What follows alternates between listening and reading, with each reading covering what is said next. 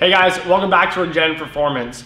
So following up from the hamstring video we posted last week, I wanted to talk a little bit about different ways you can work upstream or downstream to try and affect the, the tension through the hamstrings.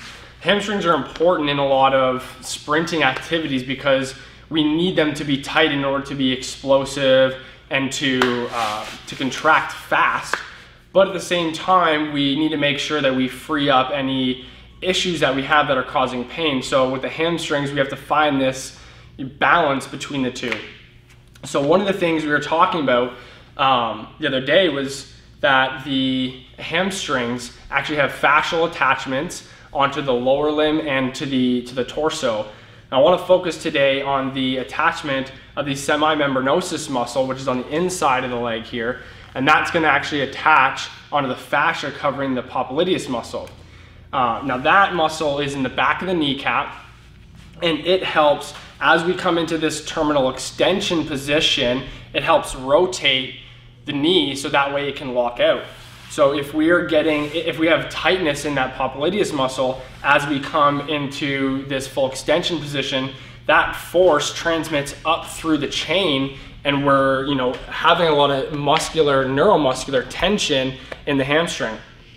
So by affecting the popliteus muscle, we can, in effect, change the tension relationship through the hamstring. So I wanna show you how to do that today. So we've got our ball. I've elevated it a bit. That just helps uh, just to get the range of motion that we want. So you're gonna put the ball right in the back of the kneecap and find that spot that doesn't feel good at all. And then from here, you're gonna extend the knee, point the toe, and you're gonna hold for a couple seconds and then relax. Find a different spot.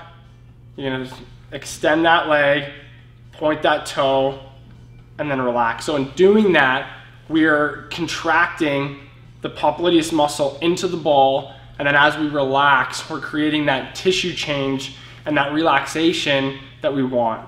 So here, good. So spend about a minute on each side doing that, and then you'll feel the difference. I'm actually getting some blood flow into my hamstrings right now. So you'll actually feel that difference in that terminal knee extension and see if that helps your back, your hamstrings. And uh, thanks for tuning in. See you next time.